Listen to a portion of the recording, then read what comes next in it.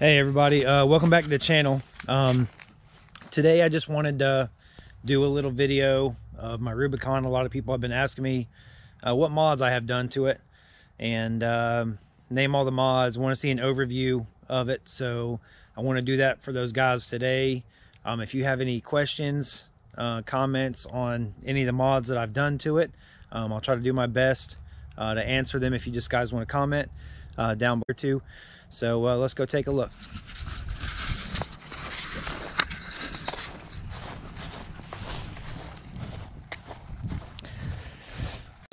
Let's get to this one. Let's see here. Let's fire this thing up. I got the Hondas packed pretty tight in here right now. That's for sure. Having four Hondas in here. I ain't started this thing in, man, a couple weeks. Week and a half. All right. Oh, shut off. Ooh, fired right up. Man, that's dirty.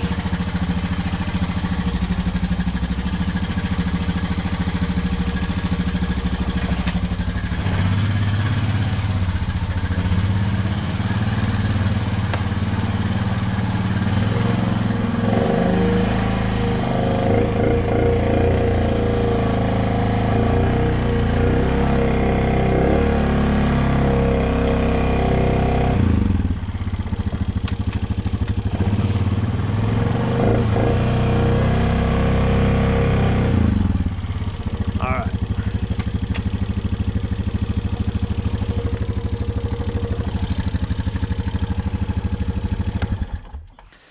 All right. The uh, Sheen here is my 2017 Honda Rubicon. Um, I've done a lot to it, so it's kind of hard on where to start. Uh, first thing that I did in its final form uh, that we'll start off with is the uh, custom snorkel job and my radiator relocate that I had a buddy who lives near me make. Um, got that done. It's been really awesome. Seal tight. Uh, what you can't see is that on this machine, uh, in one of my how-to videos, you'll see that I converted to a um, Rancher IRS DCT airbox. It's a solid box right there. There's no secondary opening, no extra boot, nothing like that to worry about. Uh, hidden nicely inside the frame and uh, protected by even the brake caliper. So that's pretty good. Uh, while we're back here, um, my buddy Justin Hoffpauir uh, in Louisiana made these custom rear arched arms. Uh, if you guys want to get with him, um, and you do have a Rubicon um, and you'd like a set of these, just let me know. Comment down below, and uh, I'll try to get you in touch with him um, on the spelling and everything like that. It relocates the shock mount in front of your factory mount, since the way that it mounts the shock. Um, in the back of uh, my Rubicon, I have the all balls, eight ball axles. I've had these for a couple months now. Um, and no issues. Um, I think they're a better axle than stock, although the stocks did last me a long time. So, um, not harping on the stocks at all. Uh, what I did notice over the stocks is the outer cup right here has a lot more angle um, ability than the stock. It definitely uh, moved more freely with more angle. So I like that. Uh, they're not bigger really than the stocks. I kind of watched their videos where they said they were bigger uh, than factory, but putting them beside each other, I didn't really notice a size cup increase or anything like that. So uh, the airbox, the axles, the custom rear arched arms. Um, this right here is a Voodoo uh, double soft shackle recovery rope. It shackles right here, and it's also got a soft shackle on the back.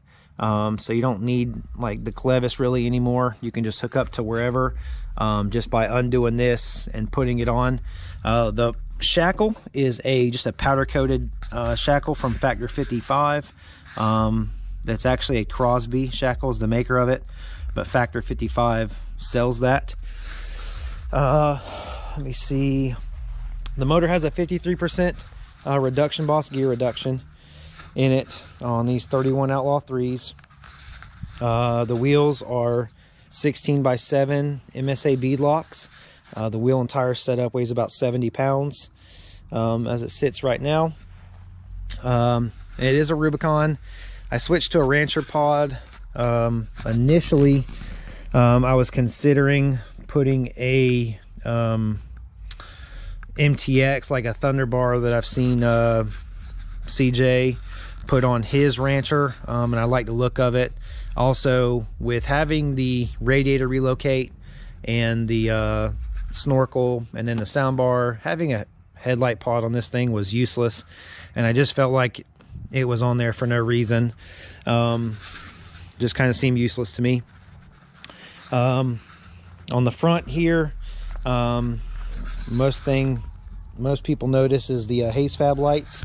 Um, I got the Haze Fab lights um, and a 10 inch light bar that's in the middle uh, for that really the haze fabs do really good but i notice i don't have like as strong of a middle light. Um, the, the light bar still complements those uh, so i like having that too. Uh, the badlands 3500 winch um, i've had it on the machine i think since march of this year and uh, I've been having intermittent issues with it where it won't work or when it does work it moves really slow.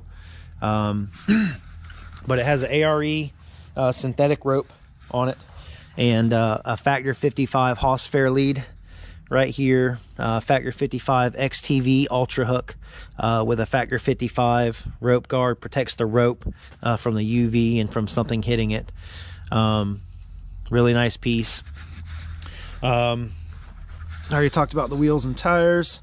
Uh, I have front um, High Lifter Outlaw 3 arched arms and Cobra HD axles front and rear. Uh, the machine at its very lowest point um, has 15 inches of ground clearance. And whenever you look at it, it is now completely flat um, underneath the arms don't protrude down they're really out of the way and uh, follow the rear arms quite nicely underneath there. And uh, only been on I think two rides with the Cobras so far. Um, but man the cups are huge. Um, very nice. They do have a ton of angle. I have a High Lifter bracket lift uh, up there on the front. And uh, pretty much all of my electrical components have been greased um,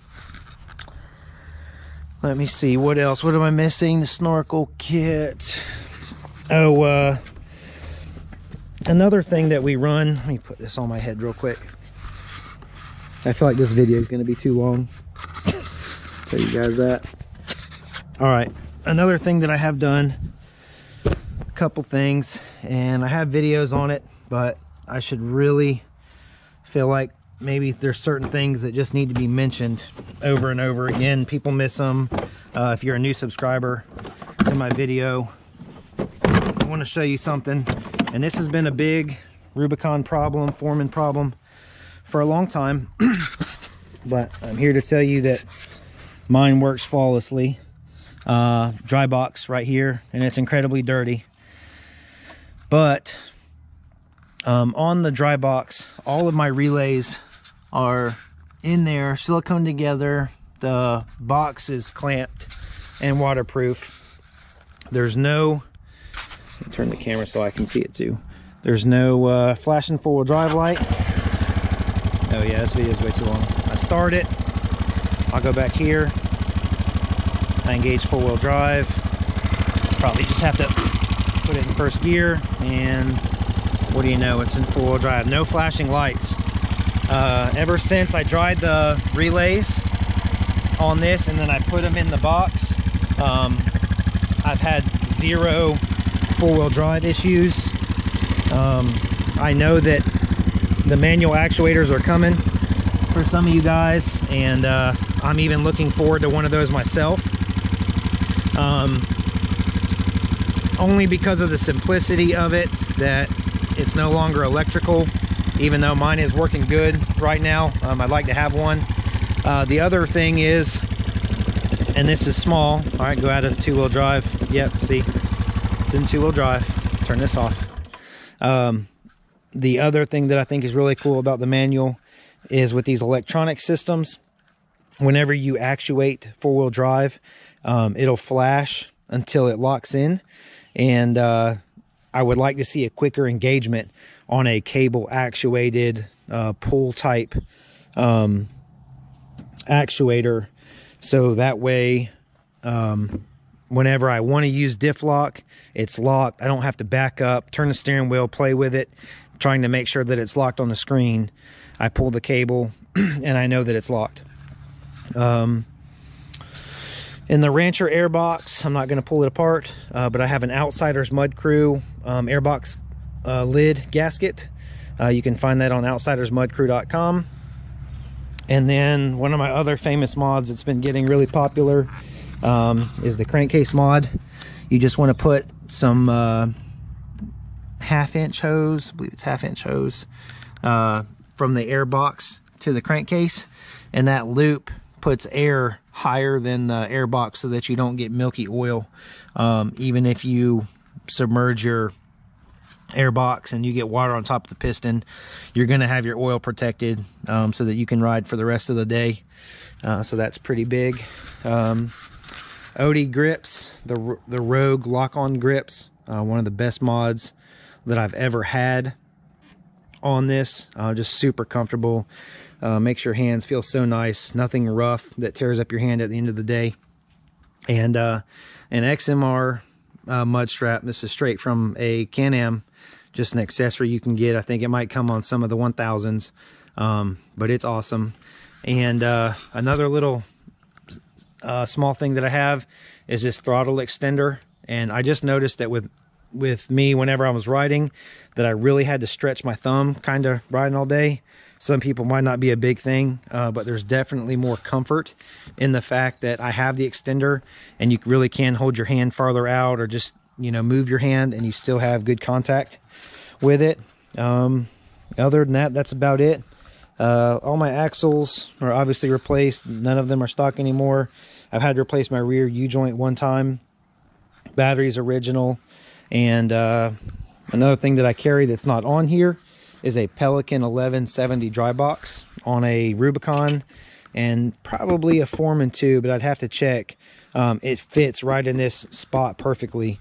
And uh, you can carry tools or your phone, anything that you need to keep dry, rags, anything like that. And uh, it works perfect.